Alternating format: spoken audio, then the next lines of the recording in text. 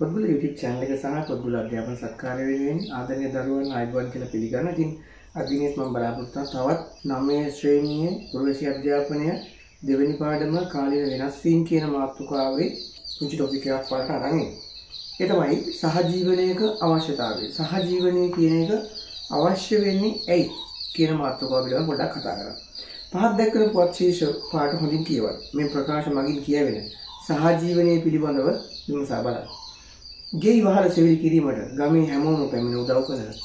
ගෙදර වහලේ සෙවිලි කරන්න ගමේ හැම දෙනාම ඇවිල්ලා උදව් කරා. මේක සහජීවනය නේද? නැත්තම් ගමේ ගෙවල් ළඟ ඉන්න ඉන්න ඉන්න අය ඇවිල්ලා උදව් කරා. දැන් ඔය ගොවිතැනේදී අත්තම් ක්‍රමය කියලා කියන්නේ දැන් මට කුඹුරක් තියෙනවා. තව මගේ මගේ කුඹුර වටේ තව කුඹුරු පහක් හයක් තියෙනවා.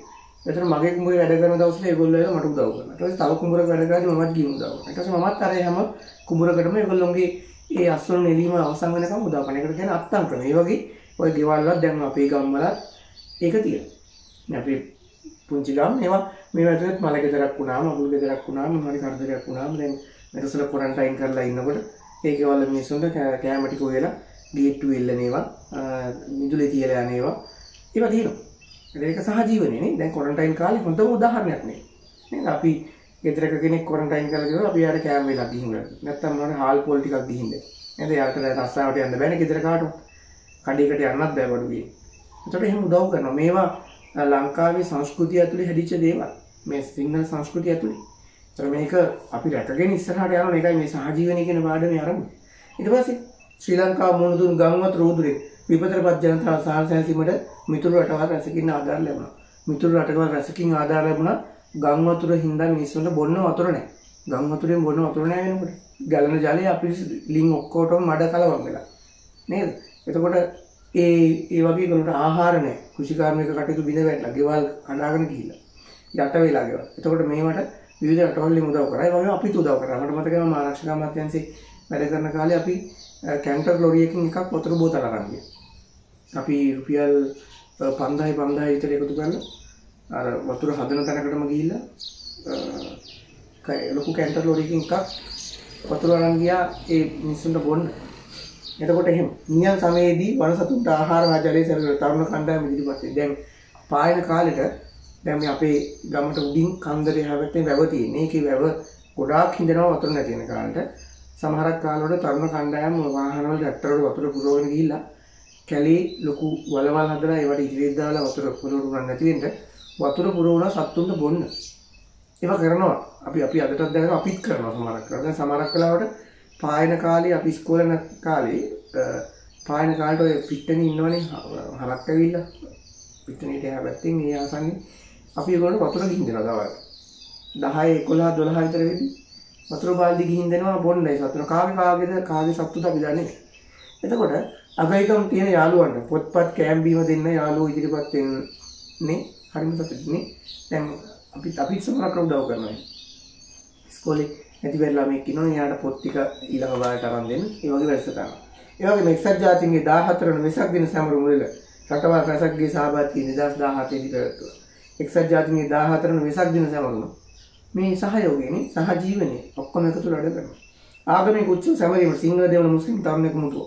සාමාන්‍යයෙන් ඔය දෙවුන්දර පැත්තේ දෙවුන්දර දේවාලයේ උත්සවයේ බලන්න බොහෝලට මුස්ලිම් දෙවන මිනිස්සුත් වෙනවා. දැන් ඔය යාපනයේ මේ නැගෙනහිර මෙන්න මේ මේ පැත්තේ තමයි දෙවන සිංහල දෙවන මුස්ලිම් කෙනා ගොඩාක් වෙන වෙලා ඉන්නේ.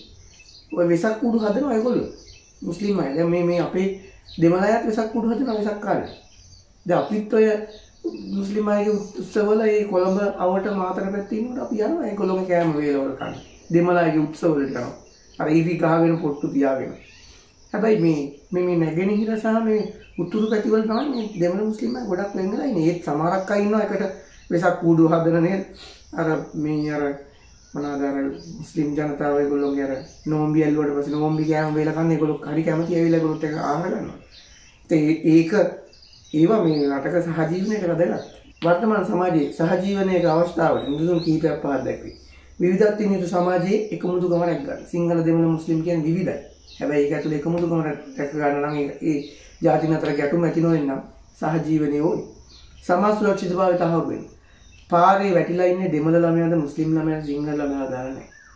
නේද? අනතුරකට ලක් වෙලා ඉන්නේ දෙමළ ළමයාද මුස්ලිම් ළමයාද කියලා අදාළ නැහැ. නේද? අපි සාමාන්‍ය පාරේ කවුරු හරි කෙනෙක් හැප්පුණොත් එහෙම ඇක්සිඩන්ට් එකක් වුණොත් අපි ගිහිල්ලා එයා දෙමළ මුස්ලිම්ලා බලන්නේ නැහැ. නැගිටවලා කෙලින් කරලා ස්පිතාලට ගිහින් නවත්තලා අදාළට දැනුවත් කරලා එහෙම කරනවා. තම අවශ්‍යතා ඉටු කරගත නොහැකි අයට උපකාර කිරීමට. තමන්ගේ අවශ්‍යතා ඉටු කරගන්න බැරි අයට උපකාර කරන්න. තමන්ගේ අවශ්‍යතා ඉටු කරගන්න බැරි අයට උපකාර කරනවා. දැන් අපි දැන් මම සාමාන්‍ය වාහනේ ටවුන් එක දිහාට යනකොට ඔය ඇචස් එකකින් යන වයසක කවුරු ගියොත් එimhe ටවුන් එක පැත්තට යන දාගෙන යනවා. ඒක උදව් කරනවා. කෝපිය අතුමක් ගිහින් කෑම වේලක් දෙනවා.